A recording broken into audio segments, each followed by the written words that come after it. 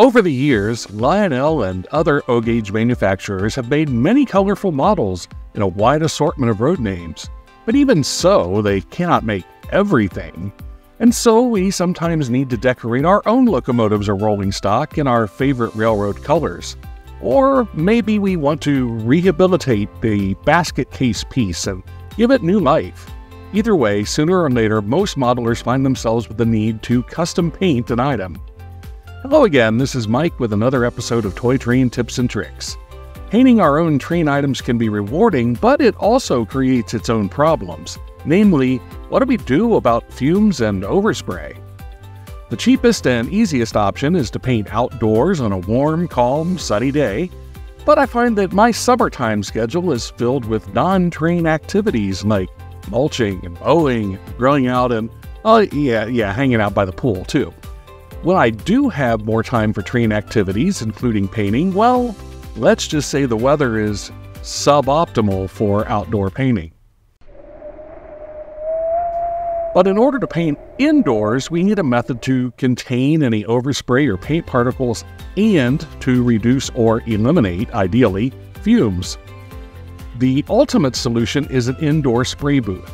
These units are essentially a box to contain overspray, a fan to eliminate fumes, and a filter to catch stray particles. Ideally, these spray booths are vented to the exterior so that no fumes accumulate in the house. Spray booths can be large, permanent installations, or today there are even some portable booths that will fit inside a small case when not in use. The problem for me is that my work area is in the basement, and our floor plan is such that it's impractical to vent the booth to the outdoors. There simply aren't any convenient windows or vents to send the fumes outside. So, what to do? If we limit our spraying to water based latex paints, there's really no need to vent to the outdoors as long as we can capture the particles of overspray. Solvents are a problem not only because they stink, but they're often flammable and they may also be toxic. Certainly, painting a special diesel for your railroad isn't worth blowing up your house or uh, getting cancer. This includes canned spray paints. Do not use these indoors. With water based paints, we know that the water is not flammable, nor is it toxic, at least we hope. We need only to be concerned with the paint particles themselves, which can be managed with a fan and a filter. So, with inspiration from a number of different YouTubers, I set about the task of making my own cheap but effective spray paint booth, and it worked. This is my new and approved design.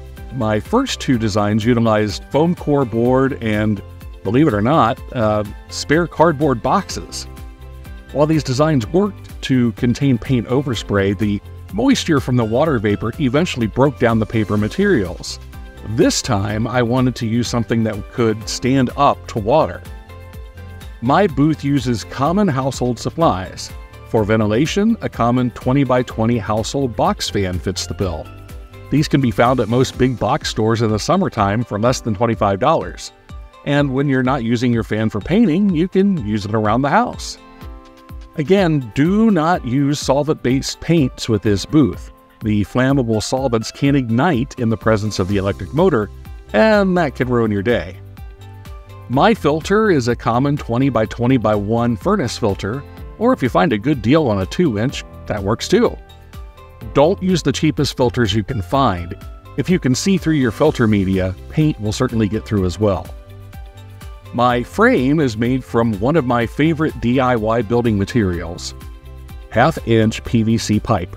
This stuff is like Tinker Toys for grown ups. I used four 5 foot sections of pipe and eight of these three way elbows for my frame. First, to accommodate the 20 inch furnace filter, I cut four pipe pieces down to 20 inches. Next, I wanted the height of my booth to more or less match the box fan, so I cut four pieces to 18.5 inches each. The elbows add 3 quarter inch to each end, making 20 inches total. Then I assembled my front and rear squares by pressing the cut pieces and elbows together. 20 inches for the horizontal pieces, 18 and a half inches for the vertical. I found the pieces stayed together just fine without using any glue. Measuring out my workspace front to back, I needed to leave space for the fan, as well as a few inches behind the fan for ventilation. I then cut my final four pieces at 20 inches each and press them together with the elbows. You may choose to go longer or shorter depending on your individual workspace. Before adding my outer wrap, I tied a length of 18 gauge wire across the top this will allow me to hang some items for painting instead of having them sit on a platform. My outer covering is made from 1 mil plastic drop cloth. Removing the drop cloth from the package, I measured out the dimension of my booth and then cut it from the rest of the package. I'll use the rest for another project. I used Loctite vinyl and plastic adhesive to secure the drop cloth to the frame. Rubber cement, super glue, and some other similar products may work as well. I started by adding glue to one edge, then placing the drop cloth. Then I glued the other three sides and pulled the drop cloth tightly and pressed it into the glue.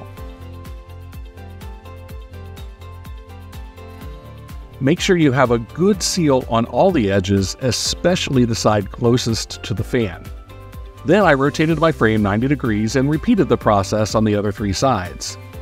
After gluing all four sides, I cut off excess plastic. Then I used strips of duct tape to secure the furnace filter to the back of the frame. I used more tape to seal any gaps around the edge. Make sure the filter is oriented for the proper direction of airflow. There's usually an arrow indicator on the frame.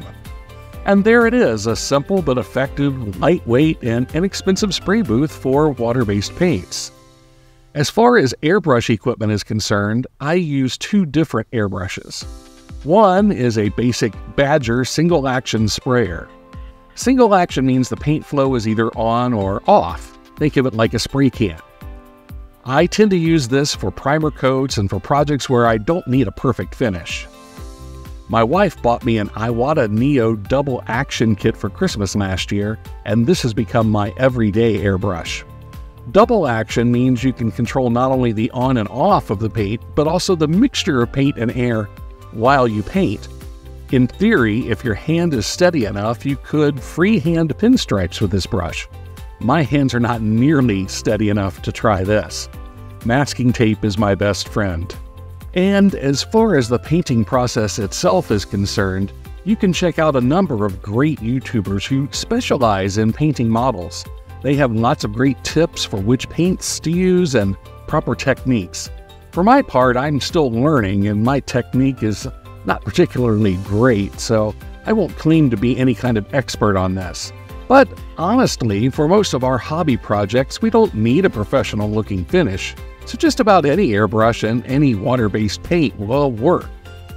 In a later video, I will walk us through my complete customization process from paint to custom decals. And now that I have my new spray booth together, I can start to tackle some of these projects. For now, we have a way to paint indoors this winter without getting paint all over the house. Once again, do not use this booth with solvent-based paints. If you must use this type of product, you need to invest in a proper spray booth with external ventilation. As always, I hope you enjoyed this video as much as I've enjoyed making it, and if so, please like it, subscribe, and share with your friends and neighbors. And until next time, decorate your favorite trains or rehab your old ones, but most of all, keep the trains running, and we'll catch you next time on Toy Train Tips and Tricks.